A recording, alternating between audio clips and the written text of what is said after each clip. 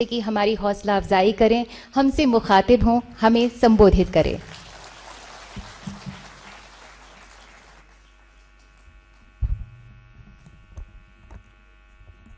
जिन नौजवानों से मुझे बात करने का मौका मिला आज, आप सभी का आत्मविश्वास और भविष्य के प्रति आपकी जो एक पॉजिटिविटी जो मुझे अनुभव आई मेरे लिए भी उत्साहजनक है, मेरी ऊर्जा बढ़ाने वाली है। तो मैं सबसे पहले तो इन प्रश्नकर्ता और इस कार्यक्रम में शरीक देश भर के नौजवानों का आभार व्यक्त करता हूँ। देश भर से जो साथी जुड़े हैं, उनको मैं फिर बता दूँ, यहाँ पर श्रीनगर में तापमान काफ़ी नीचे है।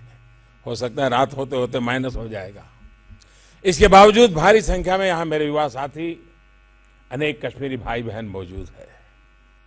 ये कश्मीर की स्पिरिट को दिखाता है, कश्मीरियों की भावना को दिखाता है।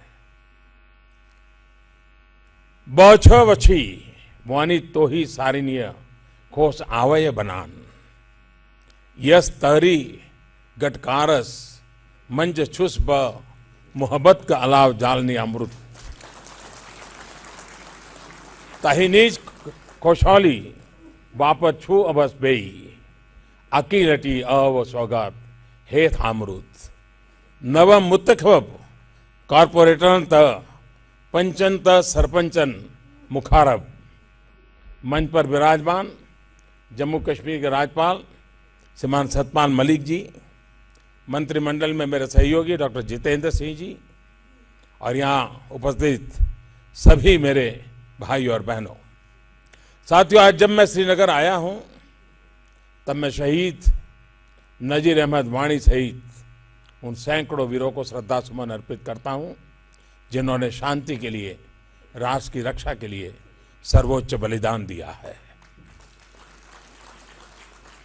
शहीद नजीर अहमद वाणी को उनके इसी अदम्य साहस और वीरता के लिए कृतज्ञ राष्ट्र ने अशोक चक्र से सम्मानित किया है। शहीद वाणी जैसे युवा ही जम्मू कश्मीर और देश के हर नौजवान को देश के लिए जीने और देश के लिए समर्पित होने का रास्ता दिखाते हैं। मैं जम्मू कश्मीर के लाखों लोगों को भी बधाई देता हूँ, जिन्होंने सालों बाद पंचायत और शहरी निकायों के चुनाव करवाए और अपने नुमाइंदे चुने। लोकतंत्र के प्रति आपकी निष्ठा, नफरत से भरे लोगों के लिए एक बहुत बड़ा संदेश है। कुछ लोगों द्वारा नेगेटिविटी फैलाने की कोशिश के बीच धमकियों से बेपरवाह आप जिस संख्या में पुलिस पोलिंग बूथ तक पहुँचे हैं, वो आपके अपने बच्चों के भविष्य, जम्मू और कश्मीर के विकास की भावना को और पुख्ता करता है। साथियों, आज मुझे यहाँ करीब सात हज़ार करोड़ रुपए की योजनाओं का शिलान्यास और लोकार्पण करने का अवसर मिला है। ये तमाम प्रोजेक्ट्स श्रीनगर और आसपास के इलाके के लोगों के जीवन को आसान बनाने में मदद करने वाले हैं। शिक्षा, स्वास्थ्य और इंफ्रास्ट्रक्चर से जुड़ी इन परियोजनाओं के लिए आप सबको बहुत बहुत बधाई। साथियों, जैसे कि आपने देखा, आज श्रीनगर देश की शिक्षा व्यवस्था से जुड़े एक बहुत बड़े कार्यक्रम की मेजबानी कर रहा है। आप में से बहुत लोगों ने नोटिस किया होगा कि चार, साढ़े चार वर्ष पहले जितने भी बड़े कार्यक्रम लॉन्च होते थे या फिर केंद्र सरकार कोई योजना शुरू करती थी तो वो सब कुछ दिल्ली के विज्ञान भवन में होता था। लेकिन हमने पुरानी सरकारों की उस कार्य संस्कृति को ही बदल दिया है। हमारी सरकार ने आयुष्मान भारत योजना की शुरुआत झारखंड से की, उज्ज्वला योजना की शुरुआत उत्तर प्रदेश से की, प्रधानमंत्री बीमा सुरक्षा योजना, प्रधानमंत्री जीवन ज्योति सुरक्षा योजना पश्चिम बंगाल में जाकर के की, हैंडलूम से जुड़े राष्ट्रीय स्तर के अभियान की शुरुआत तमिलनाडु से की, बेटी बचाओ, बेटी पढ़ाओ की शुरुआत हरियाणा से की, पोषण अभियान की शुरुआत राजस्थान जाकर के की।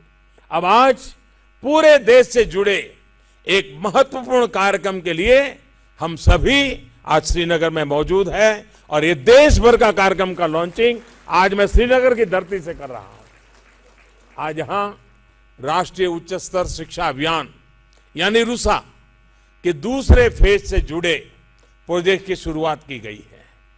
यहीं से देश भर में 70 नए model degree college 11 professional college एक महिला यूनिवर्सिटी 60 से अधिक इंटरप्रेन्योरशिप इनोवेशन और कैरियर हब का शिलान्यास और उद्घाटन किया गया है।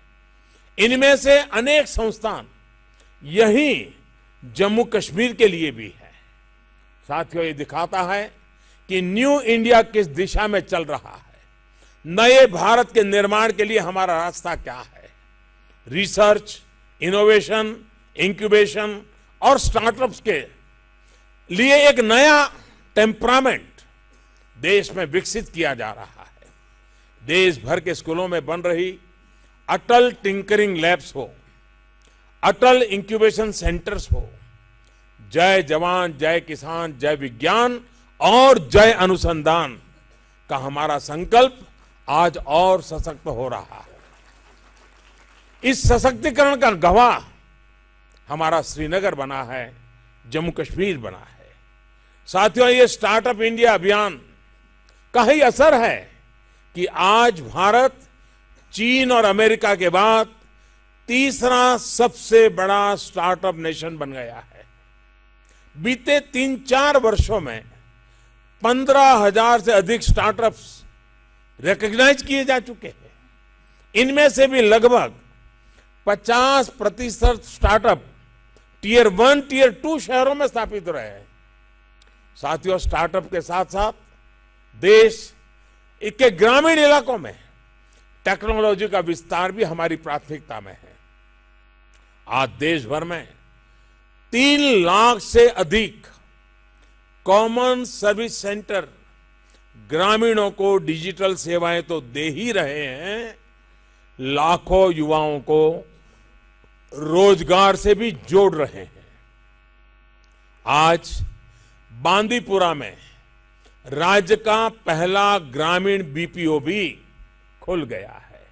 इससे बांदीपुरा के युवाओं के लिए नए अवसर का द्वार खुला है। भाई और बहनों, जितने भी प्रोजेक्ट्स का शिलान्यास और उद्घाटन आज किया गया है, ये देश के ऐसे जिलों में शुरू किया जा रहा है, जो विकास की दौड़ में आगे बढ़ने का प्रयास कर रहे हैं। रूसा के दूसरे चरण में, देश के पौने 400 जिलों में उत्कृष्ट शिक्षण संस्थान तैयार किए जा रहे हैं। अवसरों की, समानता की तरफ़ एक और बड़ा कदम है। मुझे विश्वास है कि इन सभी जिलों के युवाओं को, जब अपने घर के पास ही अच्छे संस्थान मिल जाएँगे तो वो अपने टैलेंट को और निखार पाएँगे, अपनी स्किल को और तराश पाएँगे। साथियों, जब मैं न्यू इंडिया के नए आत्मविश्वास की बात करता हूँ तो उसके पीछे एक ठोस आधार रहता है।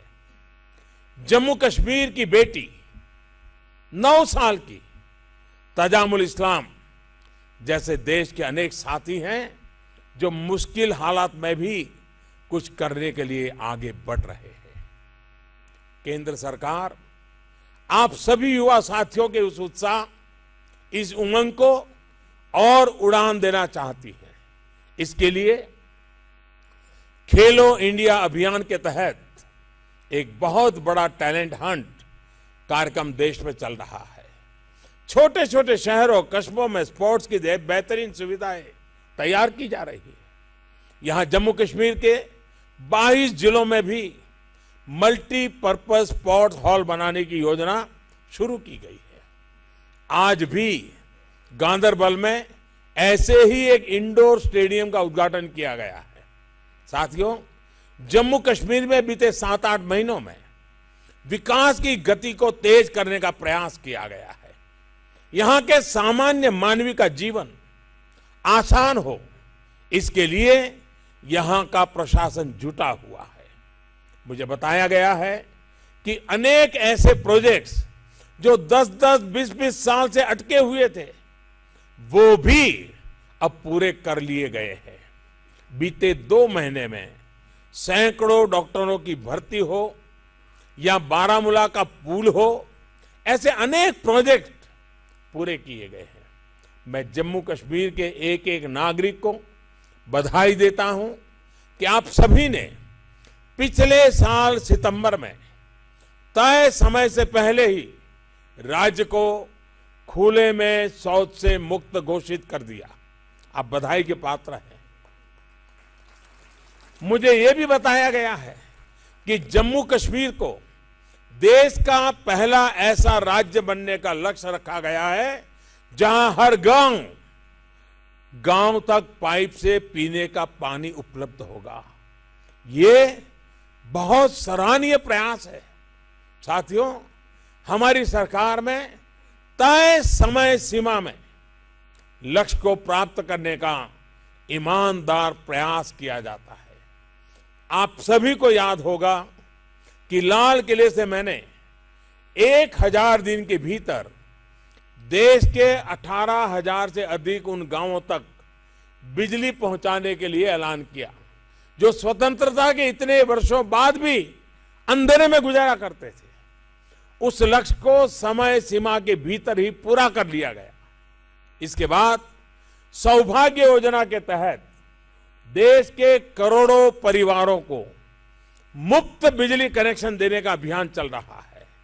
लगभग ढाई करोड़ कनेक्शन दिए जा चुके हैं और बहुत जल्द बाकी घरों को भी रोशन किया जाएगा।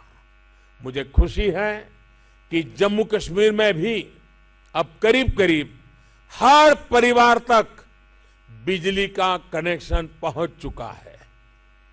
इसके लिए मैं यहाँ के लोगों को, बिजली विभाग से जुड़े हर कर्मी को, हर इंजीनियर को हृदयपूर्वक बधाई देता हूँ। राज्य सरकार की पूरी टीम को बधाई देता हूँ। साथियों, जम्मू कश्मीर में हर घर तक बिजली पहुँचाने के साथ साथ पर्याप्त बिजली देने की कोशिश भी की जा रही है। लेह, लद्दाख, कारगिल हो, जम्मू हो या फिर अब श्रीनगर। तीनों जगहों पर आज बिजली उत्पादन और ट्रांसमिशन से जुड़े अनेक बड़े प्रोजेक्ट्स का लोकार्पण और शिलान्यास एक ही दिन में करने का मुझे मौका मिला है। यहाँ की बिजली जरूरतों को देखते हुए आज़ादी के बाद पहली बार इतने व्यापक स्तर पर काम हो रहा है। हमारी सरकार की कोशिश है कि पहले जो भारत के हक का पानी बेकार में बह जाता था, उसकी एक एक बूंद का उपयोग जम्मू कश्मीर के हित में किया जाए। इसी सोच के साथ अनेक पावर प्रोजेक्ट्स यहाँ शुरू किए गए हैं। साथियों, ये तमाम प्रोजेक्ट्स देश भर में इंफ्रास्ट्रक्चर को लेकर सरकार की प्राथमिकताओं का परिणाम है। सड़क हो, बिजली हो, शिक्षा हो, या फिर स्वास्थ्य, मूल सुविधाओं के निर्माण में देश तेज़ी से आगे बढ़ रहा है। जम्मू कश्मीर के हेल्थ इंफ्रास्ट्रक्चर को मज़बूत करने के लिए जम्मू और पुलवामा में बनने वाले दो एम्स का आज ही शिलान्यास किया गया है। इन दोनों संस्थानों से राज्य के स्वास्थ्य सेक्टर में बहुत बड़ा बदलाव आने वाला है। साथियों, हम आधुनिक अस्पताल तो बना ही रहे हैं। दुनिया की सबसे बड़ी health care scheme Ayushman Bharat PM JAY भी चला रहे हैं। देश के इतिहास में इतनी बड़ी हेल्थ केयर स्कीम गरीबों के लिए पहले कभी नहीं बनी है। इस योजना के तहत गरीबों का हर वर्ष पाँच लाख रुपए तक का मुफ़्त इलाज सुनिश्चित हुआ है। देश के लगभग 50 करोड़ गरीब बहन भाई इसके दायरे में हैं। जिसमें से 30 लाख लाभार्थी जम्मू कश्मीर के ही हैं। साथियों, आयुष्मान भारत योजना की वजह से अब तक देश में 10 लाख से अधिक गरीब मरीजों का मुफ़्त इलाज किया जा चुका है। अभी तो इस योजना को 100 दिन अभी अभी पूरे हुए हैं। इतने कम समय में 10 लाख लोगों के मेजर सर्जरी उनकी मुसीबत के में से एक प्रकार से जो दो दो तीन तीन साल से मौत का इंतज़ार कर रहे थे, उनको आज एक नई ज़िंदगी मिली है। इस योजना के तहत एवरेज हर दिन दस हज़ार से अधिक हमारे गरीब परिवार के भाई बहन मुफ़्त इलाज पा रहे हैं। और ये पचास करोड़ लोग ये दुनिया की सबसे बड़ी योजना है। अमेरिका कनाडा और मैक्सिको, इनकी जो टोटल पॉपुलेशन है, उससे ज़्यादा लोगों के लिए हमारी आयुष्मान भारत योजना है। आप कल्पना कर सकते हैं कितना बड़ा काम है। साथियों, आयुष्मान भारत जैसी योजना, एक भारत श्रेष्ठ भारत का भी सर्वोत्तम उदाहरण है। क्योंकि जम्मू कश्मीर का लाभार्थी देश में कहीं भी इस योजना का लाभ ले सकता है। मान लीजिए आप यहाँ से मुंबई गए और कुछ बीमारी आ गई। आप इस यहाँ पर अगर रजिस्टर हैं तो मुंबई के अस्पताल में भी आप तुरंत बिना खर्च किए लाभ ले सकते हैं। मुंबई का कोई व्यक्ति यहाँ श्रीनगर के अंदर घूमने फिरने आया है, कुछ मुसीबत आई, वो यहाँ फ़ायदा ले सकता है। सरकार सारी व्यवस्था करने के लिए व्यवस्था बनाई हुई है। संसाधनों की साझेदारी की यही शक्ति हमारे देश की सबसे बड़ी ताकत है। हर मुश्किल परिस्थिति में एक दूसरे के काम आ सके। यही भारत की आत्मा है, यही कश्मीर की भावना है। साथियों, इसी कश्मीरियत की का तकाजा है कि हिंसा के दौर में जिन कश्मीरी पंडित बहन भाइयों को यहाँ से अपना घर, अपनी ज़मीन, अपने पूर्वजों की यादों को छोड़कर जाना पड़ा है, उनको पूरे सम्मान से यहाँ बसाया जाए।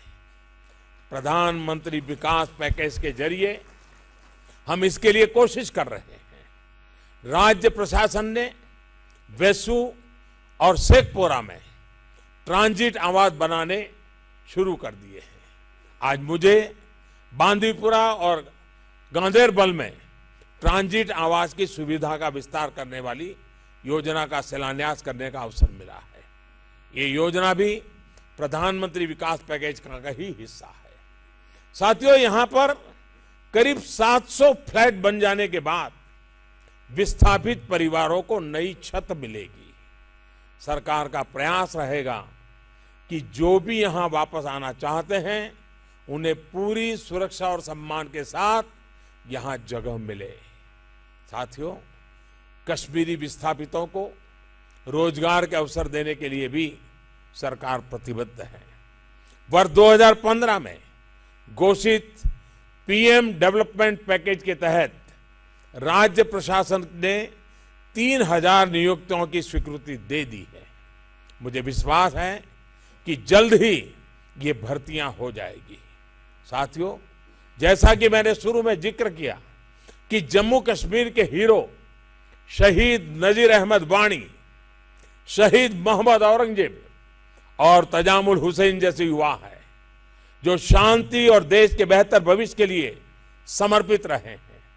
हीरो वही है जो सपने पूरा करने के लिए जीता है। वो सबसे बड़ा कायर है जो दूसरे के सपनों को मारता है।